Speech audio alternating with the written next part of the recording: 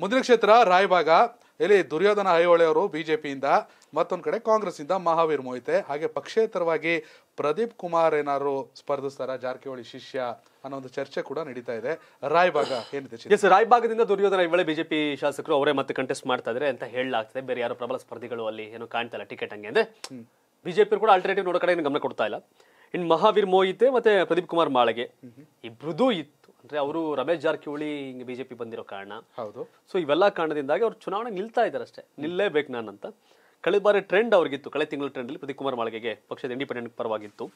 But ಈಗೇನು ಅಂತಂದ್ರೆ again Ramesh Jarkiholi ಇಲ್ಲ ಮಿನಿಸ್ಟರ್ ಆಗ್ಬಿಡ್ತಾರೆ ಅನ್ನೋ ಟ್ರೆಂಡ್ ಶುರುವಾಯ್ತು. ಈಗ ನಾಲ್ಕು ಗೊತ್ತಲ್ಲ ಅದು? ಹೌದು ಹೌದು. ಮುನ್ಸ್ಕೊಂಡು ಇನ್ನೇನ ಸಾಕು ನೋಡೋಣ. ತೊಡೆ ತಟ್ಟ ರೆಡಿ ಆಗಿರೋ ರಮೇಶ್ ಜಾರಕಿಹೊಳಿ. ಬೊಮ್ಮಾಯಿ ಅವರು ಅವ್ರನ್ನ ಈಶ್ವರಪ್ಪ ಅವ್ರನ್ನ ಅವರಿಬ್ಬರು ಮನವೊಲಿಸಿ ಮಿನಿಸ್ಟರ್ ಮಾಡ್ತಿ ನಾನು ಆಗ್ಲೇ ಹೇಳಿದ್ನಲ್ಲ. ಬಿಜೆಪಿ ನಾಯಕರು ಒಂದು ಒಂದೂವರೆ ವರ್ಷದಿಂದ ಒಂದು ಐದಾರು ಮಿನಿಸ್ಟರ್ಗಿರಿ ಖಾಲಿ ಉಳಿಸ್ಕೊಂಡವ್ರೆ. ಹೌದು. ಒಂಥರ ಏ ಬಿಡುಗರು ಬಿದ್ದಿರ್ಲಿ ಕಾಯ್ಬೇಕು ನಮ್ಮ. ನೀವು ಯಾರ ವಿರುದ್ಧ ಸೇಡ್ ಸಾಧಿಸ್ತಿದ್ದೀರಿ ಹಾಗೆ ಸಾಧಿಸ್ತೀರಿ ಬಿಜೆಪಿ ನಾಯಕರು? ಬಿಜೆಪಿ ಶಾಸಕರ ವಿರುದ್ಧವೇ. ನಿಜ. ರಮೇಶ್ ಜಾರಕಿಹೊಳಿ ಘಟನೆಗಳಾಗಿರಬಹುದು. ಆರೋಪ ಅನ್ನೋದಕ್ಕಿಂತ ಘಟನೆಗಳಾಗಿರಬಹುದು. ಆರೋಪ ಅಂತಂದ್ರೆ ಆಗಿದೆಯೋ ಇಲ್ವೋ ಅಂತ. ಘಟನೆಗಳಾಗಿರಬಹುದು. ಅದನ್ನ ಯಾವ ರೀತಿ ಹ್ಯಾಂಡಲ್ ಮಾಡಬೇಕು ಅನ್ನೋ ಕೆಪಾಸಿಟಿ ಇಲ್ಲ. ನಿಜ. ಅಲ್ವಾ?